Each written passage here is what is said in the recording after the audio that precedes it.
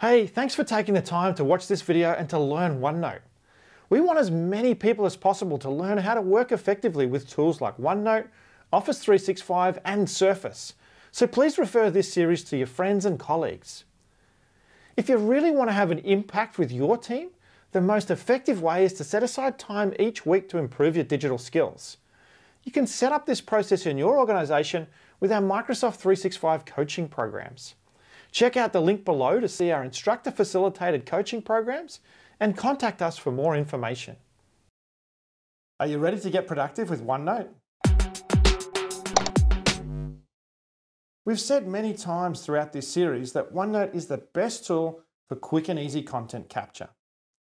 But the problem with quick and easy content capture is that you'll accumulate a lot of stuff and it becomes very difficult to find things. Search in OneNote solves that problem. With search, you can find keywords in your typed text, pictures, and even handwritten notes. Search in OneNote is incredibly powerful.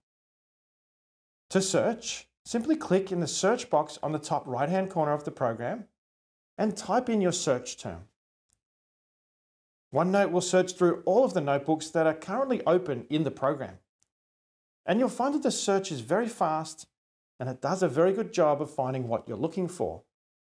If you find that you need to narrow down your search results, click on the drop down and choose to search the current notebook, section, or the page that you're currently on.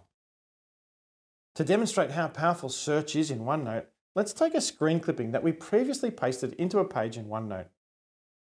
You'll see that as I type in a word from that screen clipping, OneNote has instantly found it and highlighted the keyword inside of the picture. That's thanks to the powerful OCR that OneNote runs across every single picture in all of your notebooks. Let's try the same thing but with handwritten notes. I'll take out my pen and write some notes on the page. And then using the search box, I'll be able to instantly search those handwritten notes. You can see that OneNote has found the keyword that I've typed into search right here on the page. If you've got messy handwriting like I have, you'll find that OneNote Search still does an amazing job of finding what you're looking for. This is one of the most powerful things about using Microsoft OneNote. Over time, you'll build up a very large library of research, articles, screen clippings, handwritten notes and draft documents. With old ways of working, it can be very difficult to find what you need. But in OneNote, you can stop looking for things and start using the powerful search that's built right in to find exactly what you need at any time. So now that you know how to find anything that you're looking for, you're ready to get productive with OneNote.